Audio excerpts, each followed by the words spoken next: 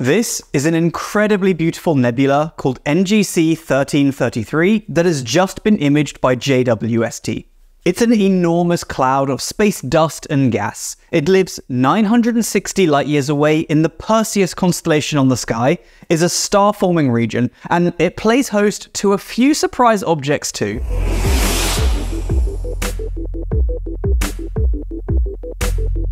The nebula was first discovered by a German astronomer called Eduard Schönfeld in 1855, and now we're seeing it as we never have in more detail than ever before through Webb's infrared eyes. As we sweep across the image, we see large patches of orange. These are regions where gas is glowing brightly in infrared light, thanks to emission and radiation from young stars heating up that gas.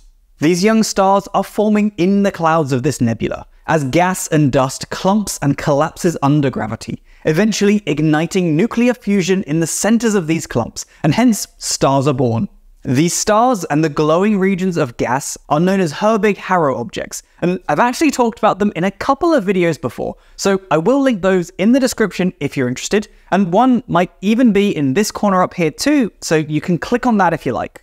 The entire nebula has a mass about 450 times that of our Sun, which isn't too huge in the grand scheme of the universe, but is pretty big compared to little ol' us and our planet. There are about 150 stars in NGC 1333, and they have a mass of about 100 times our Sun when all combined. There are even about 95 bright sources producing loads of X-rays, but I don't think those are visible here as JWST is not sensitive to X-rays. Lots of the young stars in the nebula are surrounded by disks too, and these may well go on to form planetary systems in the future, although we can't see any of those yet as these stars are all too young. However, on the right of the image, we can see the shadow of one of these disks edge on. It's visible as two dark cones, backlit by a bright background of infrared light. It's really awesome. The image I've been showing you is actually the nice cropped version that's super neat, but we actually have access to the wider field view. But here we can really see the frame of JWST, how it imaged the sky, and the image as a whole has a bit of an odd shape as a result.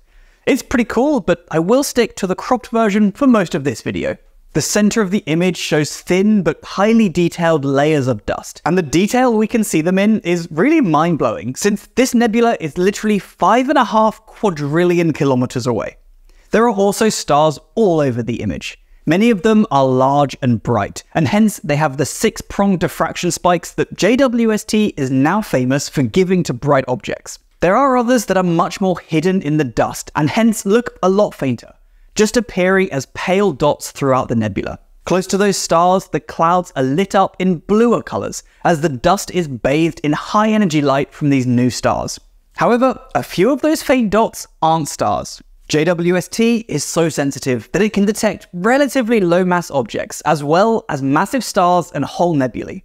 At least three of these dots are in fact newly formed free-floating brown dwarfs, sort of failed stars that have masses comparable to those of giant planets. Across the whole image, there are six brand new planetary mass brown dwarfs that have been found. So let me know if you can spot the other three in the comments down below. Just like the new stars in this nebula, our own sun would have formed inside a gassy and dusty cloud like this, or perhaps even more massive. But that would have been 4.6 billion years ago.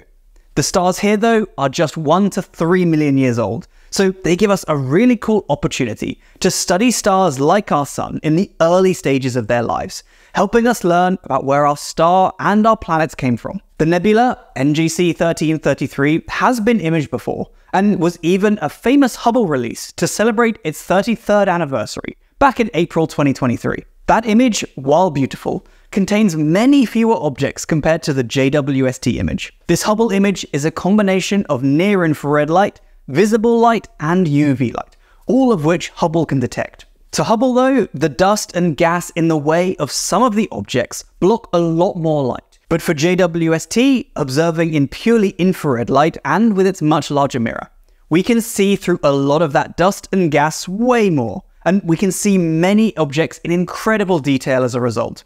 The new JWST image was taken as part of a program to study NGC 1333 specifically, and this is the first deep spectroscopic survey of the area. The brown dwarfs were identified using the Near Infrared Imager and Slitless Spectrograph, or NIRISS for short, and this image was made with NIRISS data too. That's something a bit rarer for images released by JWST, most of which are made with the NIRCam or MIRI instruments. So it is kind of cool to see some NIRISS images too. Anyway, I think the image is beautiful, but I would love to hear your thoughts or your questions in the comments below too. Thanks for watching, and I hope to see you sometime soon on another video. Until next time, stay safe team. I'll see you soon. Bye!